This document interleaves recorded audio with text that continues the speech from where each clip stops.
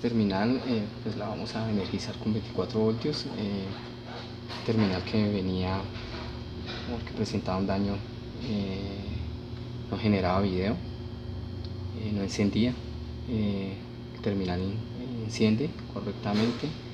Em, podemos, no tenemos el password ni el usuario, pero podemos indicar que el teclado se encuentra el touch genera pues los caracteres y está funcionando correctamente. Em, eh, como no tenemos pues el, usuario y el password pues no podemos ingresar a ningún menú pero esto nos indica que el terminal se encuentra bien. Hemos eh, realizado pruebas por algunas horas y ya está estable